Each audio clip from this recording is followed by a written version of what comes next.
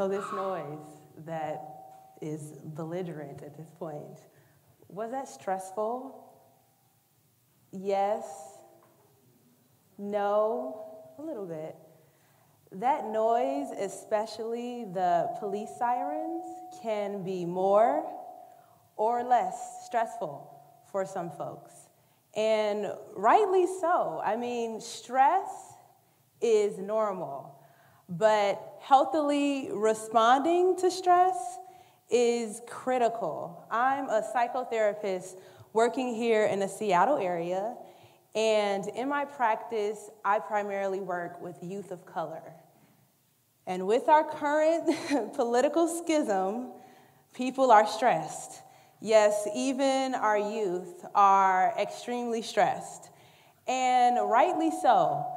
Every day we are met with a barrage of stressors. So, commuting to work, or for instance, being stuck in traffic, or having to fit a really important exercise regimen in to move our bodies, or we might have an assignment that we need to complete. So, whether it be for work or for school, all of these are stressors that we often experience, and they can leave us quite depleted. So, what we know though is actually stress is normal. And there are two types of stress. So, eustress and distress. Do people know that? Two types. No, I learned this too. Um, so, eustress is a positive stress. So, this is the stress of getting on a roller coaster, all of that excitement, or having a challenging but really manageable work assignment to complete. So, that's eustress. Distress, on the other hand, is negative stress. So, these are the little stresses we experience every day, or stressors that can be traumatic over time. So, the death of a loved one or an illness that may leave us incapacitated, these are all things that can lead to very traumatic and negative stress. And over time, these are some of the things that we can experience. And it can leave us leaving, feeling like this. So, headaches, nausea, panic attacks, right? These are all things that I'm sure some of us have experienced dealing with stress.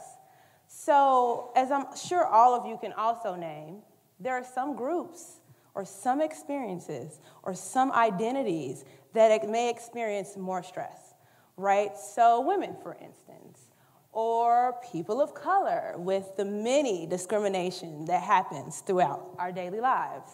These are all groups that may experience more stress. So, for instance, how would a young Latina mother and student be experiencing life? What are her challenges? What are her stressors? How may a young, newly immigrated primary student be experiencing life? What are her challenges? So, in my practice, I had the pleasure of meeting Sasha. It's not a real name, but it is an ode to Beyonce. So I met Sasha, and I always got to have Beyonce with me. Um, and she was this vibrant 15 year old young lady. Um, and I could see that. She was smart, she was spunky, she was engaged. But as we've heard today, she was struggling as a student. She was challenged. She could not complete her assignments. And as I was talking to her more, I learned that she couldn't sleep at night. You know, she felt really down, right? You start to really uncover some things. And as I was speaking to her, we spoke a lot about self care, right? Which is very popular and very cool um, and very current. And so we talked a lot about how self care was radical, right? And that was something that I love to discuss caring for ourselves which is very, very important. But as I was speaking to Sasha, it became pretty apparent to me that the singular experience that she was having was actually completely connected to her community. So, as I spoke to her more, we arrived here. Community care is radical. And community care was radical, in particular for Sasha, because there was not any hospitals in the area. There was not a job in which her mother could be adequately compensated in her neighborhood. There was not a local program or after school program or resource center for the young people. So truly, it was impossible for Sasha to ever reach the limit or to peak in self care because her community had not received the care it needed. So, community care is radical for two reasons. The first reason is, especially as Americans or people who live within the US, we are taught to be individualistic in our pursuits. Community care takes into consideration the person as a part of the whole.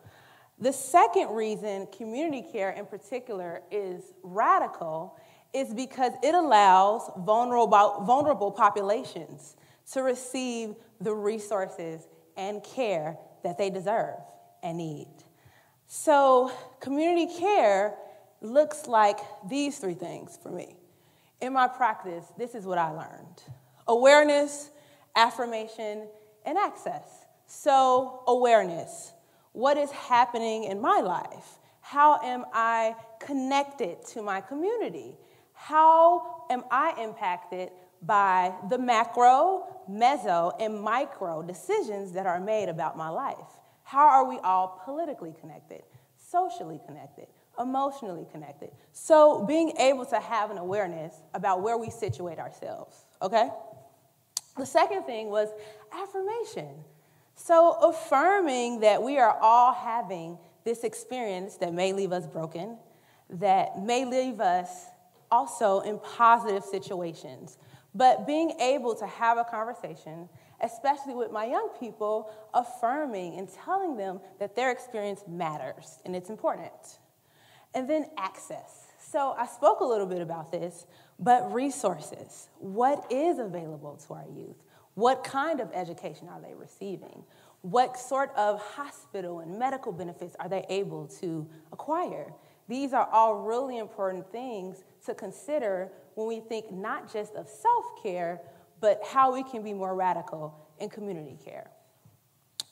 The great poet, scholar, activist Audre Lorde said, Caring for myself is not self indulgence, it is self preservation. And that is an act of political warfare. So, to close, I would like to actually read a piece written by me, and it is titled A Letter to My Folks.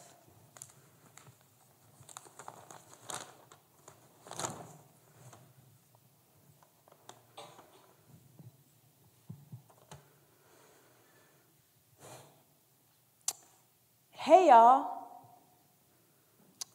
You know, our parents, our grandparents, our ancestors, how uncompromising, how astute, talented.